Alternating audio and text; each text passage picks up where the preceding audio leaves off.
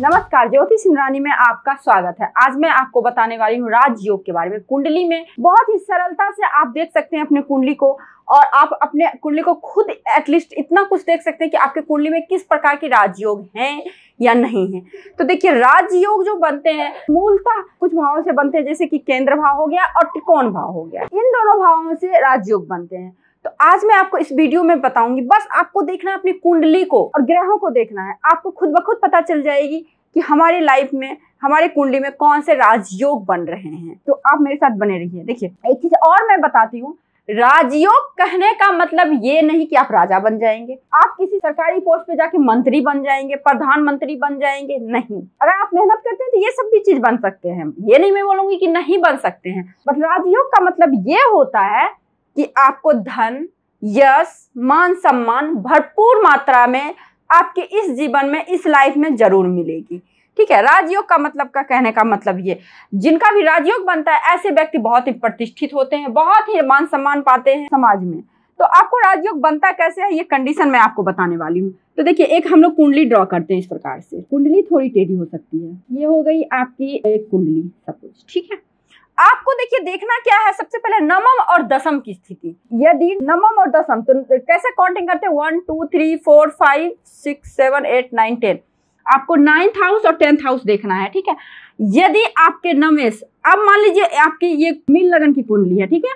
One two three four five six seven eight nine और ten ठीक है? तो आपको इन दोनों को देखना है। आपके यदि कुंडली में, लगन कुंडली में यदि नमेश, इसका नमेश मतलब क्या? नब्बे घर में जो आपके नंबर है, ये आपके नाइन्थ हाउस हो गए, ठीक है? तो नाइन्थ हाउस में जो नंबर है, उनके स्वामी। तो नाइन्थ हाउस में एट नंबर है तो एट के स्वामी हो गए आपके वृश्चक राशि। एट राशि जो होता है, वो वृश्चक राशि होता है और वृश्चक राशि के स्वामी हो गए मंगल। यदि आपका मंगल यहाँ बैठ जाए और आपका दसमेश का स्वामी बैठ जाए आपके नवम घर में, ठीक है? नवमेश का स्वामी आपके दसवें घर में और दसवेश का स्वामी आपके नवे घर में। तो दसवेश कौन से हो गए? आपके नौ नंबर हो गए आपके धनु राशि। धनु राशि के स्वामी हो गए गुरु। गुरु यहाँ बैठ गए। लाइक इस प्रकार से। तो ये आपको सामान्य राज्यों। और कंडीशन अलग बने, उसका मैं नहीं बात कर रही हूँ। सिर्फ़ और सिर्फ़ राजयोग के बारे में बात कर रही हूँ। ये कुंडली इस ग्रह का कारक है, नहीं है, ये अलग बात है। ये हो गए आपका सामान्य राज्यों। राज्यों का मतलब यही कि लाइफ में आप जो चाहोगे, पालोगे। इन शॉर्ट आप समझें। तो देखिए, इस तरह से सामान्य राजयोग हुआ। तो देखिए राजयोग का मतलब क्या है? आपको लाइफ में आपको अच्छा मान, सम्मान, धन या कीर्ति मिलेगी, ठीक है? और इससे पहले मैं एक चीज़ बताती हूँ। केंद्र स्थान जो भी है, सारे विष्णु स्थान है, ये केंद्र ये केंद्र, देखिए कैसे? ये हो गया आप, ये हो गए आपकी माता सुख शांति, भूमि वाहन ये हो गया आपके लाइफ पार्टनर ये हो गया रोज़गार। तो भोग का चीज़ जितना भी होता है, यहाँ से हम लोग देखते हैं। ये केंद्र स्थान, जो कि इसे हम विष्णु स्थान बोलते हैं। और त्रिकोण तो आपको फिफ्थ हाउस और नाइन्थ हाउस ये हो गए आपके त्रिकोण भाव, ठीक है? तो त्रिकोण भाव, ये हो गए आपके लक्ष्मी स्थान, ये हो गए आपके विष्णु स्थान, केंद्र हो गए आपके विष्णु स्थान, त्रिकोण हो गए आपको लक्ष्मी स्थान। तो केंद्र कौन सा घर हुआ? फ़र्स्ट फोर सेवन टेन ये हो गया आपका विष्णु स्थान, केंद्र भाव। और देखिए फिफ्थ और नाइन्थ ये हो गए आपके त्रिकोण स्थान, जिसे कि हम लोग लक्ष्मी स्थान बोलते हैं। इसलिए बोलते हैं क्योंकि ये हो गए आपके ज्ञान का, आपके संतान का, और ये हो गए आपके भाग्य का, आपके प्रावर्ध में जो किए गए कर्म होते हैं, उनके अनुसार यहाँ पे ग्रहों की प्लेसमेंट नंबरों की प्लेसमेंट होती है। तो ये हो गए एक राजयोग, मैंने बता दिया, अगर नमेश का स्वामी दसम में हो या दसमेश का स्वामी नवम में हो इस तरह से राशि परिवर्तन करके हो तो ये आपका सामान्य राजयोग बना है। इससे भी आप मान सम्मान इतना तो पा ही लेंगे, यश, कीर्ति, धन इतना तो पा लेंगे कि सोसाइटीज में आप बहुत अच्छे से रह सकते हैं, अपने सोसाइटी में। दूसरा कंडीशन क्या, यदि पंचमेश नवम में और नमेश पंचम में देखिए किस तरह से ग्रहों का राशि परिवर्तन के अनुसार होता है। मान लीजिए यहाँ पे फोर नंबर है, इन नंबरों को भूल जाइए, इन नंबरों को आप भूल जाइए। अब मान लीजिए यहाँ पे सात नंबर है और यहाँ पे आपको ग्यारह नंबर हो गया। सात और ग्यारह नंबर हो गया। मान लीजिए आपका ये नवम घर हो गया तो नवम घर पे ग्यारह नंबर है, ठीक है? ग्यारह नंबर हो गए आपके कुंभ राशि। कुंभ राशि के स्वामी हो गए शनि। तो नमेश नमेश यदि पंचम में बैठ जाए, यानी शनि यहाँ बैठ जाए, ठीक है? और साथ ही साथ आपको ये देखना है, ये पंचम हाउस हो गया। पंचम हाउस में कौन सा नंबर है? सात नंबर। सात नंबर होगी तुला राशि। तुला राशि के स्वामी हो गए शुक्र। शुक्र यहाँ बैठ जाए। देखिए, इस प्रकार से। तो ये भी देखिए, राशि परिवर्तन करके ग्रह बैठा हुआ है ना? तो ये भी आपको एक राजयोग का ही निर्माण करता है। ये राजयोग भी आपको फल देगा। और राजयोग का फल क्या होता है? आपको राजयोग का फल समाज में प्रतिष्ठित एवं धनी होंगे आप। इन शॉर्ट समझ लीजिए। अब किस तरह की प्रतिष्ठा मिलेगी, किस तरह की धन मिलेगी, वो और ग्रहों को देख के, आपकी मेहनत, आपके देश काल पात्र को देख के डिसाइड होते हैं। प्लस आपके मेहनत प्लस और ग्रहों की कंडीशन बट राजयोग है तो आपको फ़ायदा तो ज़रूर देंगे।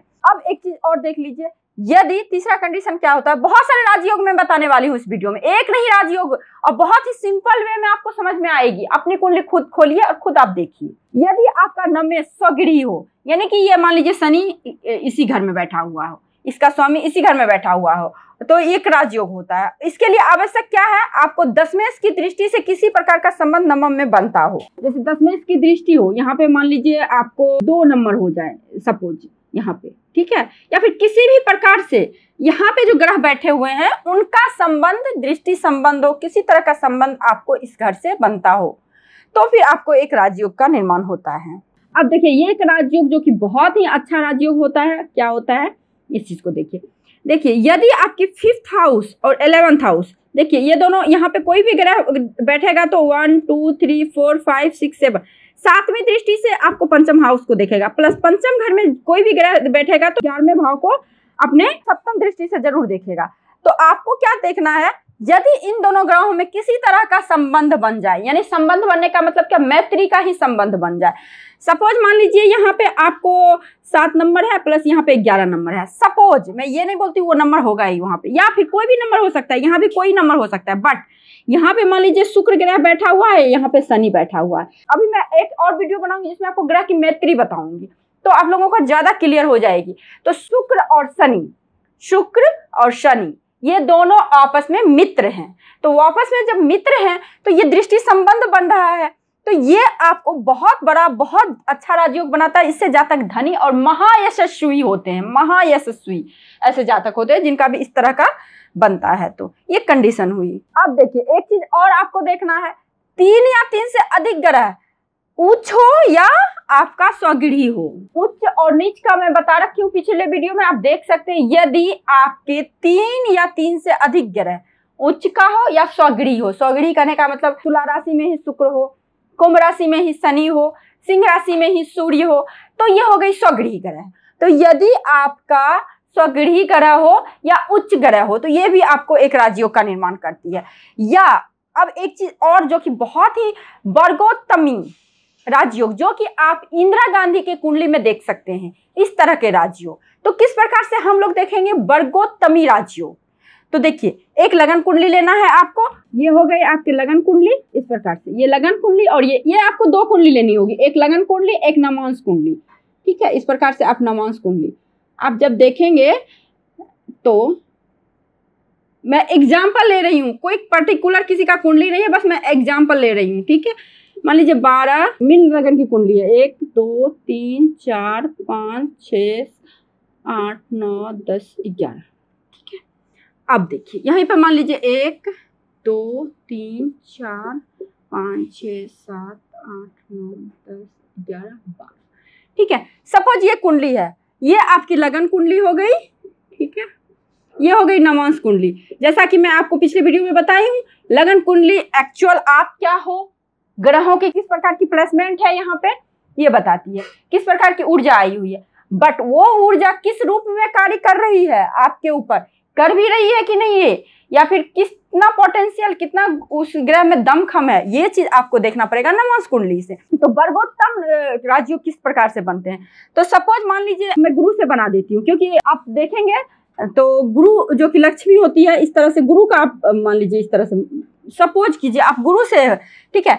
तो आपको क्या देखना, लगन कुंडली में कोई भी ग्रह जिस राशि में बैठा है, उसी राशि में वही ग्रह आपके नमांस कुंडली में बैठा है। किस भाव में बैठा है, इसको नहीं देखना है। आपको सिर्फ़ ये देखना है, लगन कुंडली में कोई भी ग्रह जिस राशि में बैठा है, जैसे आपके ये गुरु आपके मीन राशि में बैठे हैं, और यही नमाज़ कुंडली में भी ये गुरु आपके मीन राशि में बैठ गए किसी भाव को मत देखिए, बस इतना ही देखिए। तो ये हो गई आपको वर्गोत्तम राजयोग।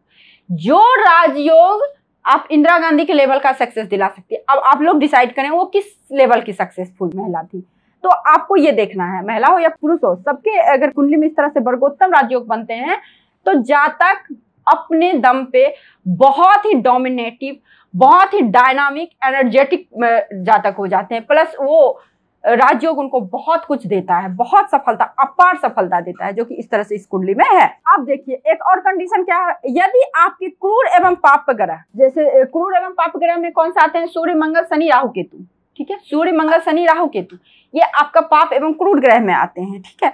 तो यदि आपके राशि में कहीं भी मतलब आपके कुंडली में उच्च या सौराशि या मूल त्रिकोण राशि में बैठा हुआ हो, जैसा कि आपको पिछले वीडियो में मैंने बताया है, ग्रह उच्च किस राशि में होते हैं, कौन से ग्रह किस राशि में नीच के होते हैं सौराशि क्या होती है, सारा कुछ आप वीडियो जाके देखें, मैं दोबारा नहीं बताऊँगी, ठीक है? तो आपको वो वीडियो देखनी पड़ेगी। तो आपको ये डिसाइड करना यदि क्रूर एवं पाप ग्रह स्वगृही हो, उच्च का हो या फिर मूल त्रिकोण राशि में बैठा हुआ तो ये भी एक राजयोग का निर्माण करता है, जो कि आपको बहुत कुछ देता है। अब देखिए, एक चीज़ और है। यदि आपका चंद्रमा उच्च का हो, चंद्रमा उच्च का हो तो चंद्रमा उच्च वृक्ष राशि में होता है, ठीक है? यहाँ पे। वृक्ष राशि में चंद्रमा, यानी कि चंद्रमा उच्च का हो और गुरु से युति बना रही हो। देखिए, जिसे कि हम लोग गज केसरी राजयोग का नाम जानते हैं, ठीक है? बट आपको एक चीज़ और देखना होगा गज केसरी योग तो चंद्रमा और गुरु की युति से बन गई। जो कि अपने में बहुत बड़ा राजयोग होता है वो। उस राजयोग के बारे में तो आप लोग बहुत जानते होंगे। यदि आपकी दृष्टि का भी संबंध बन जाए मतलब चंद्रमा और गुरु की दृष्टि का भी संबंध किसी प्रकार से बन जाए तो भी ये गजकेसरी योग का निर्माण करता है, ये बहुत अच्छे राजयोग का निर्माण करता है। अब देखिए, एक चीज़ और मैं आपको बताना चाहती हूँ, यदि आपका, मान लीजिए, अधिकतम पाप ग्रह थर्ड और सिक्स और इलेवेंथ हाउस में बैठ जाए, देखिए, अधिकतम थर्ड सिक्स और इलेवेंथ में यदि आपके बहुत ज़्यादा पाप ग्रह जो कि आपको सूर्य, शनि, राहु, केतु, मंगल, अगर इन भाव में अधिकतम बैठ जाए तो ये भी एक राजयोग का निर्माण होता है। एक राजयोग और बनता है। यदि नीच का ग्रह, जैसे कि सूर्य तुला राशि में नीच का होता है, यदि नीच का ग्रह या फिर जैसे कोई भी ग्रह ले लीजिए, कोई भी ग्रह यदि नीच का हो और बकरी हो, ठीक है, और आपके केंद्र में बैठा हुआ हो तो ये भी राजयोग का ही निर्माण करता है। जैसे शनि का ही ले लीजिए। जैसे शनि में राशि में नीच का हो जाता है और बकरी हो जाए।